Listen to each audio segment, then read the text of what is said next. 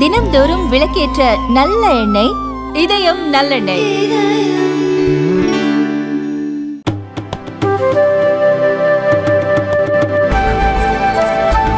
சென்னை சென்ட்ரலில் இட நெருக்கடி நிலவுவதால் பல விரைவு ரயில்கள் எழும்பூரில் இருந்து இயக்கப்படுகின்றன. எனவே ரயில் போக்குவரத்தை மேம்படுத்தும் வகையில் கடற்கரை எழும்பூர் இடையே நான்காவது ரயில் பாதை அமைக்கப்பட உள்ளது. சென்னை கடற்கரை எழும்பூர் இடையே நான்காவது ரயில் பாதை அமைக்கும் திட்டத்திற்கு மத்திய பட்ஜெட்டில் தொன்னூற்று ஆறு புள்ளி ஏழு பூஜ்ஜியம் கோடி ரூபாய் நிதி ஒதுக்கப்பட்டுள்ளது. இதை அடுத்து இந்த திட்டத்தை வேகமாக செயல்படுத்த நடவடிக்கை எடுக்கப்பட்டு வருகிறது.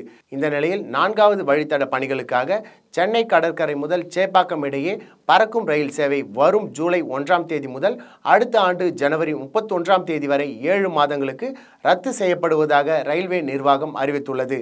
அதுவரை சேப்பாக்கத்தில் இருந்து வேளச்சேரி வரை பறக்கும் ரயில்கள் இயக்கப்படும் என ரயில்வே நிர்வாகம் தெரிவித்துள்ளது. இதனால் அரக்கோணம் மற்றும் பிற புறநகர் பகுதிகளில் இருந்து வேளச்சேரி செல்லும் பயணிகள் பெரிதும் பாதிக்கப்படுவார்கள் என்று கவலை தெரிவித்துள்ளனர். இந்த இடைப்பட்ட நேரத்தில் அரசு தங்களுக்கு மாற்று ஏற்பாடு செய்ய வேண்டும் என்று பயணிகள் கோரிக்கை விடுத்துள்ளனர்.